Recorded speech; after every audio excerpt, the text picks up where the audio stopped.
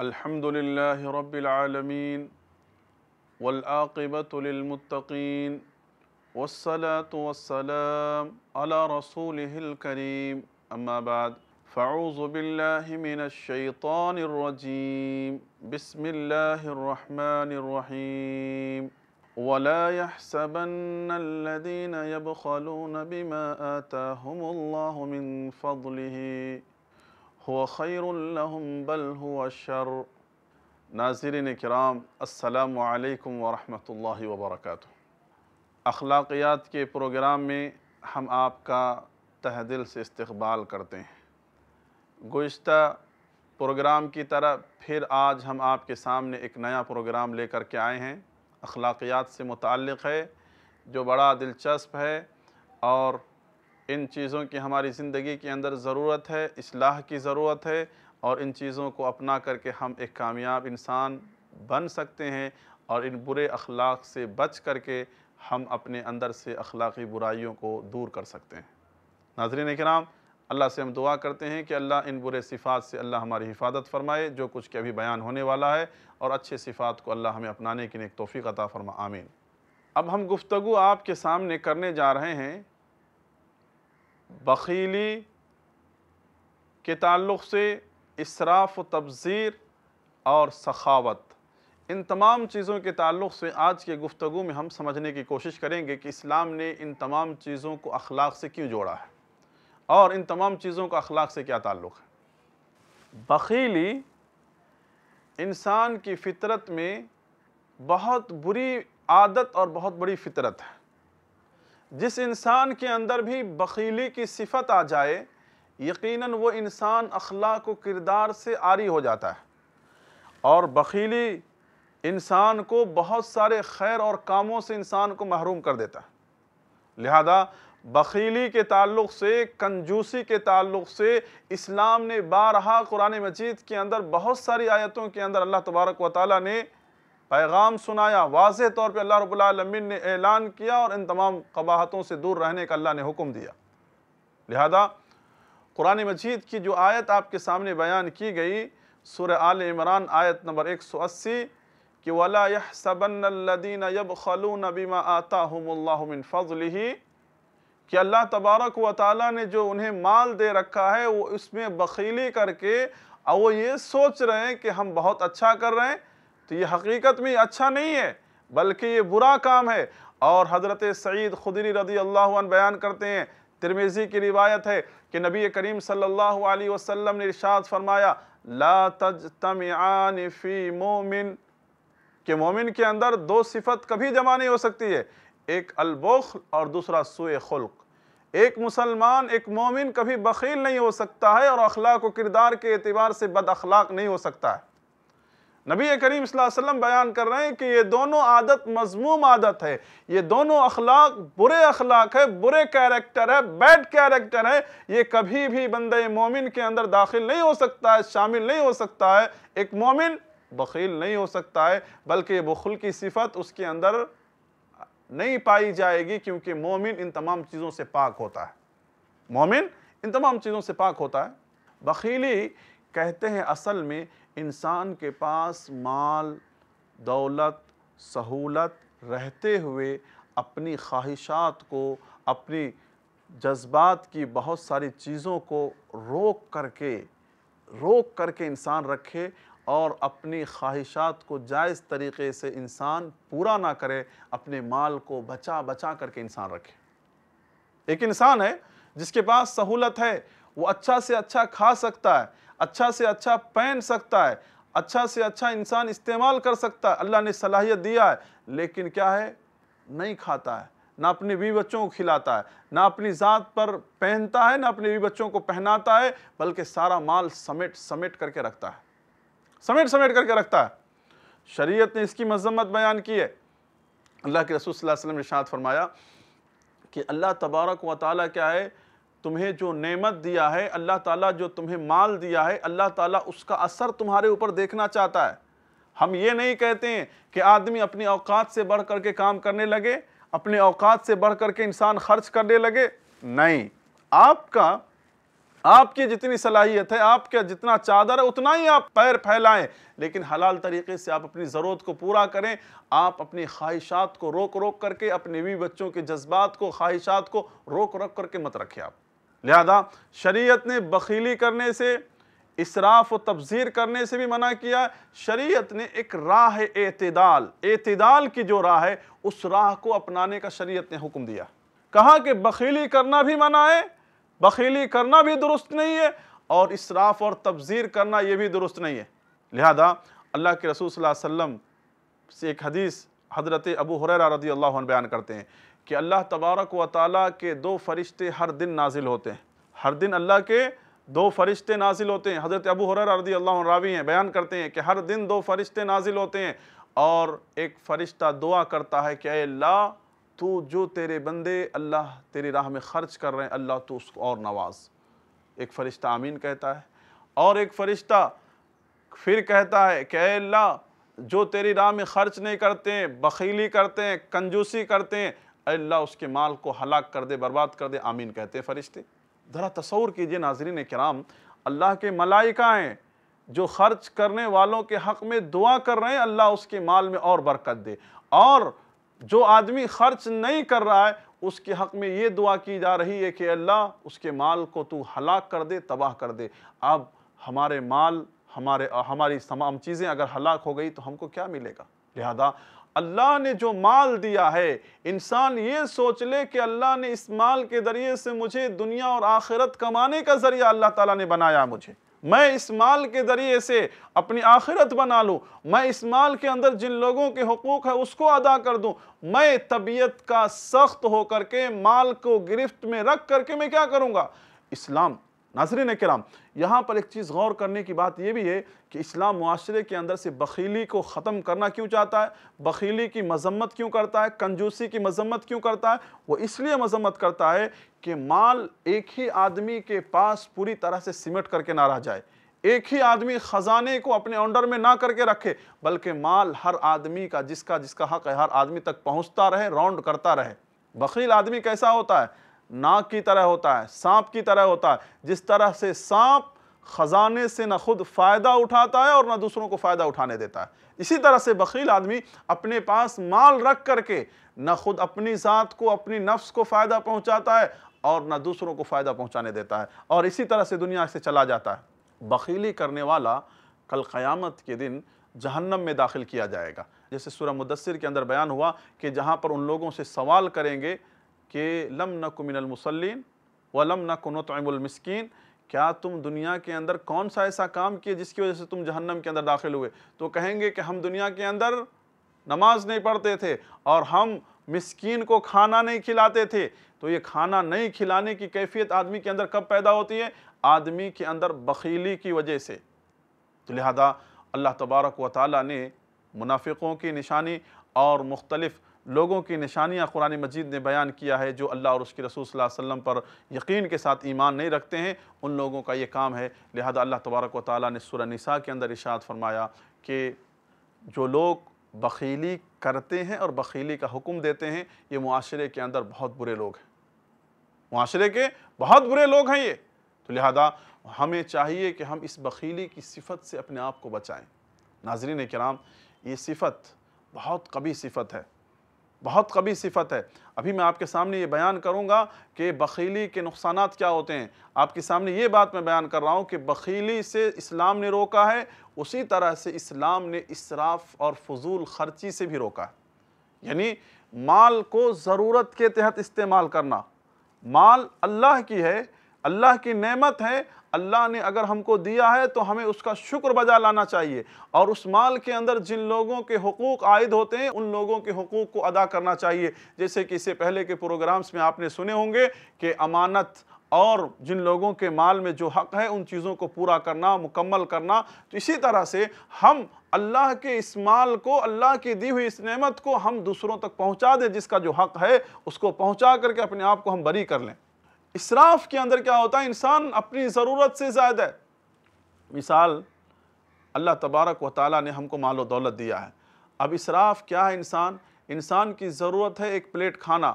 کافی ہے ایک پلیٹ کھانا، لیکن وہاں پر ایک پلیٹ کی جگہ پہ وہاں پر دس پلیٹ کھانا اور دس چیز انسان وہاں پر لا کر کے جمع کرتا ہے۔ انسان کھاتا نہیں ہے اور اس کو برباد کر دیتا ہے، اس کو ویسٹ کر دیتا ہے۔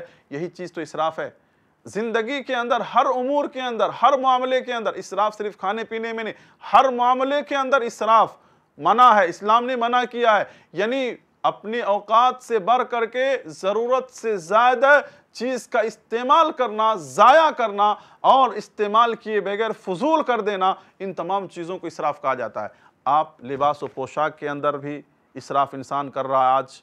انسان کھانے پینے میں فضول اسراف کر رہا ہے آج، اور انسان یہاں تک کہ بعض انسان ایسے ہیں جو پانی کے معاملے میں تو حد سے زیادہ اسراف کرتے ہیں۔ لوگوں کو جب کہا جاتا ہے، جب بتایا جاتا ہے، تو لوگ کہتے ہیں کہ اللہ تعالیٰ پانی کے بارے میں حساب نہیں لے گا۔ وَلِيَعْزُ بِاللَّهِ وَلِيَعْزُ اللہ کیسی ذہنیت ہے؟ اللہ تبارک و تعالیٰ نے تو ارشاد فرمایا، ثُمَّ لَتُسْأَلُنَّ يَوْمَئِذٍ عَنِ النَّعِيمِ۔ اللہ تم سے معمولی معمولی نعمت کے بارے میں پوچھے گا۔ آج جگہ جگہ آپ دیکھتے ہیں کہ پانی کے پرابلمز ہوتے ہیں۔ اس میں اللہ کے دوسرے مخلوق کے بھی تو حقوق ہیں۔ ہم کتنا پانی ویسٹ کرتے ہیں، ضائع کرتے ہیں۔ کتنے لوگ ہیں جو ایک ایک قطرے کے پانی کے لیے ترستے ہیں۔ یہ بھی فضول ہے، یہ بھی اسراف ہے۔ اس سے بچنا چاہیے۔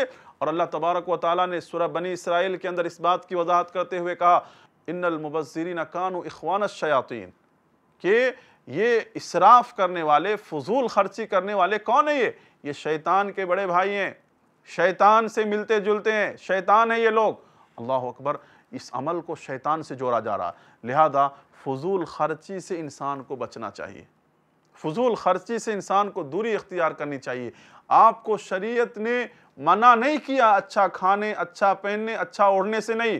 بلکہ شریعت نے کہا، حد میں رہ کر کے اللہ کی نعمت کو استعمال کرو، حلال طریقے سے استعمال کرو، جائز طریقے سے جتنی ضرورت ہے استعمال کرو، ضرورت سے بڑھ کر کے بیجا اسراف مت کرو، اسراف سے اپنے آپ کو بچاؤ۔ بہت افسوس کے ساتھ یہ بات مجھے کہنی پڑتی ہے کہ آج امت مسلمہ اس قدر اسراف کا شکار ہے۔ کہ جس کو بیان کرتے ہوئے افسوس ہوتا ہے، آج دیکھیں شادی بیواہ کے اندر کتنا اسراف کیا جاتا ہے، لباس پوشاک کے اوپر کتنا فضول خرچ کیا جاتا ہے، پہناوے اوڑھاوے کے اوپر کتنا فضول خرچ کیا جاتا ہے، نکاح شادی بیواہ کے اندر میک اپ کے اوپر کتنا عورتوں کے میک اپ اور لباس کے اوپر کتنا فضول خرچ کیا جاتا ہے؟ اللہ اکبر اللہ اکبر۔ کھانے پینے پر کتنا فضول خرچ کیا جاتا ہے؟ اللہ اکبر اللہ اکبر۔ آج انسان کتنا فضول خرچی کر رہا ہے؟ اور اس کے علاوہ آج تو مسلم ممالک کے اندر آپ دیکھیں گے کہ کھانا پینا کس قدر کینٹینر کینٹینر پھینکا جا رہا ہے۔ اور آج معاشرے کے اندر کتنے ایسے غریب ہیں، کتنے ایسے نادار ہیں، کتنے ایسے بھوکے ہیں جو ترستے ہیں ایک نوالے کے لیے، ایک وقت کے دانے کے لیے۔ آج ہمارے معاشرے کے اندر ہم شادیوں میں اتنا فضول خرچی کرتے ہیں، وہیں پر ہمارے معاشرے کے اندر کتنی جوان لڑکیاں اپنی عمر گزار رہی ہیں ماں باپ کے دہلیز پر، ان کی ہم فکر نہیں کر سکتے ہیں۔ ایک شادی میں جو ہم کروڑوں کروڑوں روپے خرچ کرتے ہیں، اسی جگہ پر ہم دس شادیاں کر سکتے ہیں سادگی کے ساتھ۔ اسلام نے کہا کہ سب سے بہترین شادی وہ ہے جو سادگیت کے ساتھ ہو۔ تو فضول خرچی ہم ان تمام چیزوں میں کرتے ہیں۔ لیکن جب دین کا معاملہ آ جاتا ہے، مذہب اسلام کا معاملہ آ جاتا ہے، ایسے وقت میں ہم کہتے ہیں ہمارے پاس کچھ نہیں ہے۔ لیکن اپنی ذات پر پورا الٹا سیدھا قرض لے کر لون لے کر، معلوم نہیں کیا کیا کر کر کے ہم فضول خرچی اور اپنے اسٹینڈرڈ کو لوگوں کے درمیان لانے کی کوشش کرتے ہیں۔ ناظرین کرام یہ بہت بڑا گناہ ہے۔ اس گناہ سے انسان کو بچنا چاہیے اور انسان کو بخیلی سے بچنا چاہیے، اسراف اور تبذیر سے بچنا چاہیے۔ اللہ تبارک و تعالیٰ نے مومن بندوں کی صفت بیان کرتے ہوئے کہا سورہ فرقان کے اندر۔ سورہ فرقان آیت نمبر سکسٹی سیون کے اندر اشاد فرمایا، وَالَّذِينَ إِذَا أَنفَقُوا لَمْ يُسْرِفُوا وَلَمْ يَقْتُرُوا وَكَانَ بَيْنَ ذَلِكَ قَوَامًا۔ مومن تو وہ ہے، مومن بندہ تو وہ ہے کہ جب خرچ کرنے کی ضرورت بھی پڑتی ہے تو خرچ کرتے ہیں، خرچ کرتے ہوئے اسراف نہیں کرتے، میانہ روی کو اپناتے ہیں، اعتدال کے راستے کو اپناتے ہیں، ہر قسم کی فضول خرچی سے بچتے ہیں۔ ناظرین کرام، تو فضول خرچی سے ہمیں بچنا چاہیے۔ اور بخیلی سے ہمیں بچنا چاہیے۔ بخیلی کے تعلق سے میں آپ کے سامنے بیان کر رہا تھا کہ بخل کا نقصان کیا کنجوسی کا نقصان کیا بخیلی کا جذبہ انسان کے اندر دو راستوں سے آتا ہے۔ پہلا راستہ انسان کے اندر مال کی محبت دل کے اندر بیٹھ جاتی ہے، مال مال۔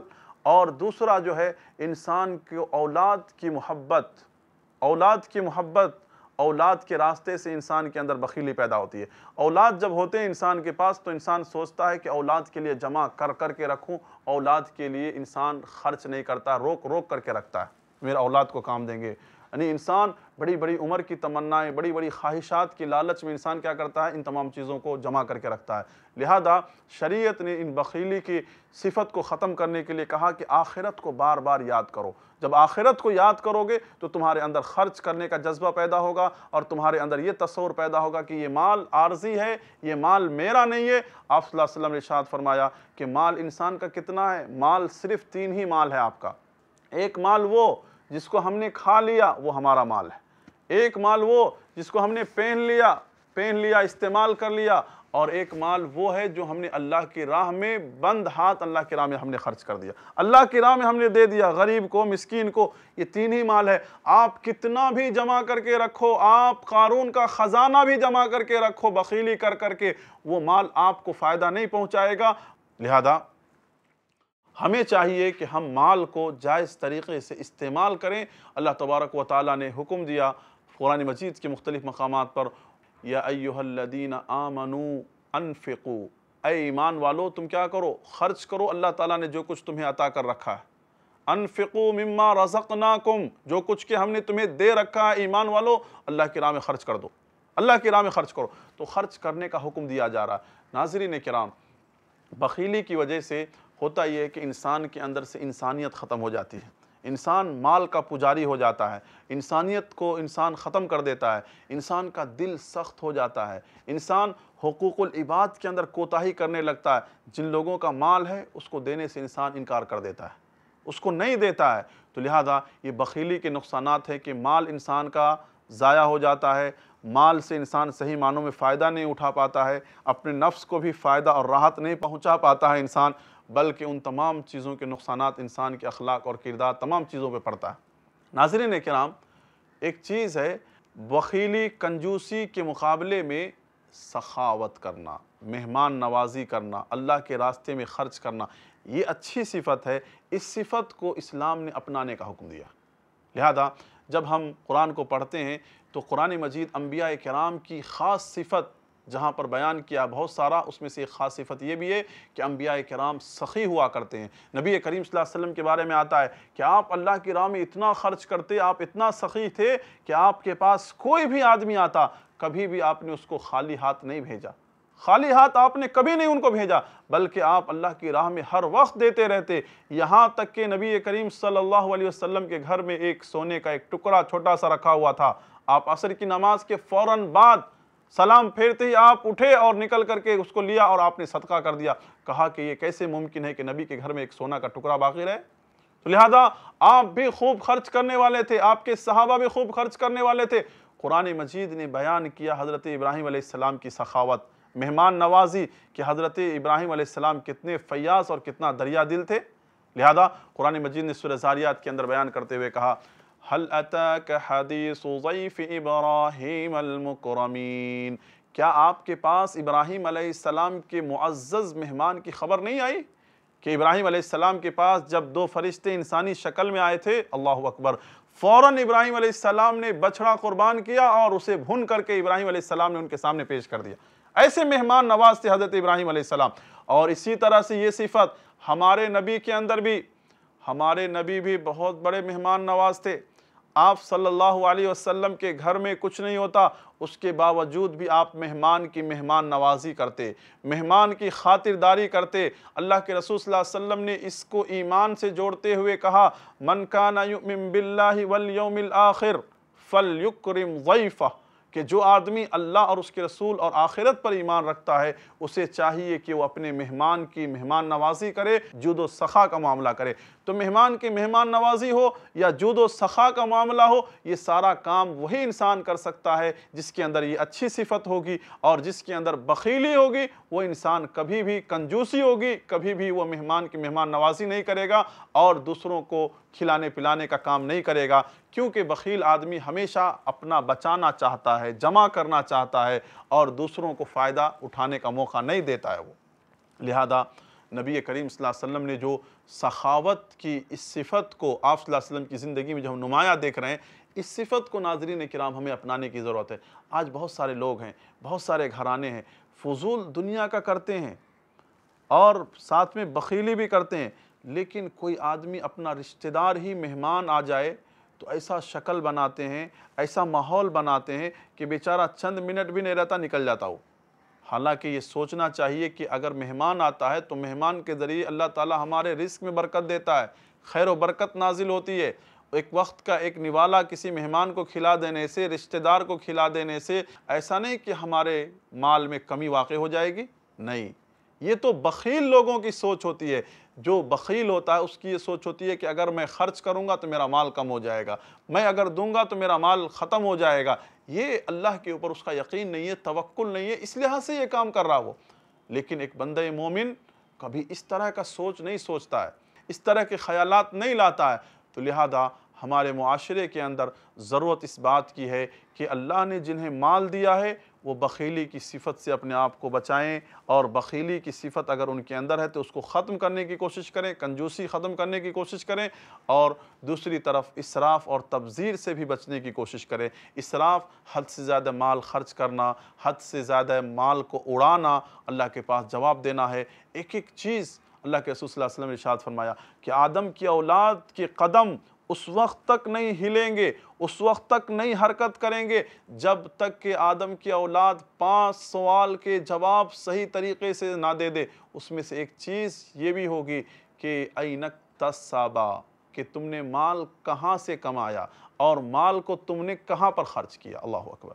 تو اسراف اور تفسیر اگر ہم کر رہے ہیں کسی بھی معاملے میں، کسی بھی امور میں، تو یقین مانے کہ کل قیامت کے دن ہمارے قدم اس وقت تک نہیں لیں گے جب تک کہ ہم جواب نہیں دے پائیں گے۔ تو جواب بھی دینا ہے تمام چیزوں کا۔ یہ احساس، یہ تصور اپنے اندر پیدا کریں۔ آخرت میں حاضری کا احساس ہمارے اندر اگر ہو جائے، اللہ تعالیٰ نے کہا سورہ نازیات کے اندر، اما من خاف مقام ربی ونہا النفس عن الہوا فإن الجنت ہی المعوا کہ آدمی کو اگر یہ احساس ہو جائے، یہ تصور ہو جائے کہ اللہ کے سامنے کھڑا ہونا ہے تو نہ وہ بخیلی کرے گا، نہ حقوق العباد میں کوتاہی کرے گا اور نہ اسراف کرے گا تفضیر کرے گا، ان تمام چیزوں سے بچ کر کے وہ جو راستہ، اعتدال کا راستہ ہے، اس کو اپنائے گا۔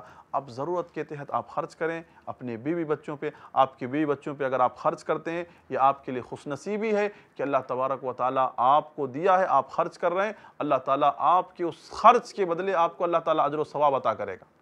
اللہ تبارک و تعالیٰ آپ کو عجر و ثواب۔ ایک آدمی جو اپنے بیوی بچوں پہ ایک نوالا بھی خرچ کرتا ہے، کھلاتا، پلاتا ہے، اس پہ بھی اللہ رب العالمین کے پاس عجر و ثواب ہے۔ ناظرین کرام، تو خلاصہ کلام یہی ہے ہماری باتوں کا، اس گفتگو کا، کہ ہم ان عادت قبیحہ سے اپنے آپ کو بچائیں۔ اخلاق سے اس کا بڑا گہرا تعلق اس طرح سے ہے کہ جس آدمی کے اندر یہ بری صفت ہوتی ہے اخلاقی اعتبار سے، وہ انسان بہت برا ہوتا ہے۔